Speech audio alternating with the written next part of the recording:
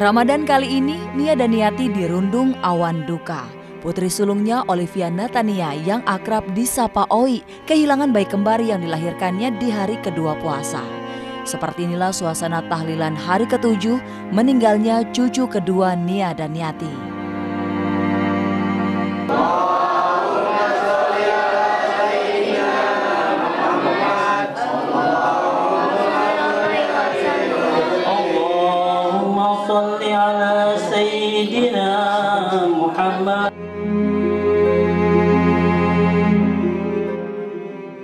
Sempat menimang bayi kembarnya hanya untuk beberapa saat, Oi harus mengikhlaskan kepergian kedua buah hatinya tersebut. Muhammad Miki Prasetya dan Muhammad Miko Prasetya adalah nama yang diberikan Oi pada si kembar. Kini Oi dan Nia hanya bisa mengenangnya lewat sepasang gelang rumah sakit yang melingkar di pergelangan tangan Oi.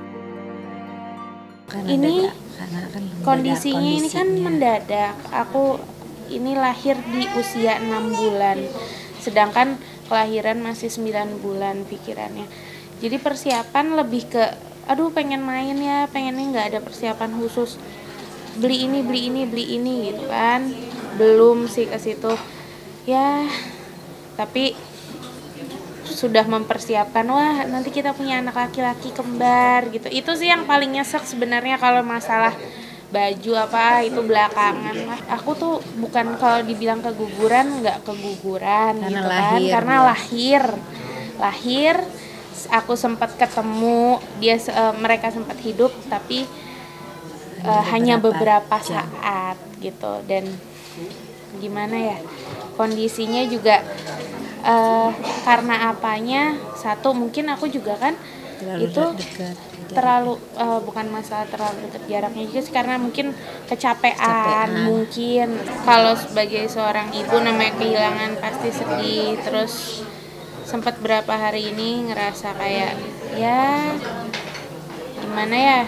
Ya ya kayak ngerasa sepi gitu kan. Biasanya kan kalau misalkan di perut ada yang nendang-nendang atau gimana gitu.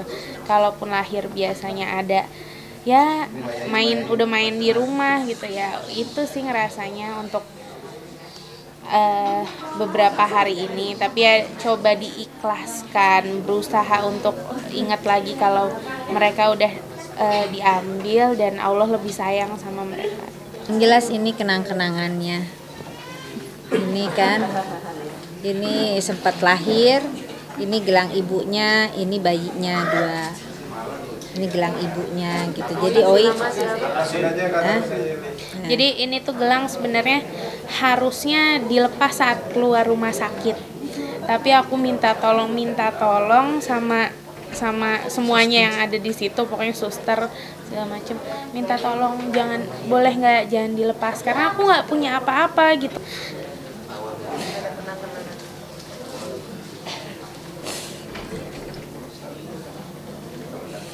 gak punya sesuatu gitu. Kalau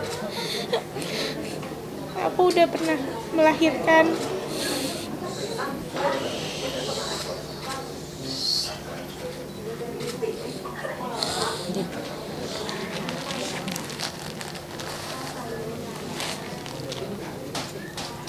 Setidaknya kan orang mungkin taunya oh iya mungkin keguguran atau apa kondisinya nggak kayak gitu. Aku sempat meluk anak aku aku sempat lihat anak aku.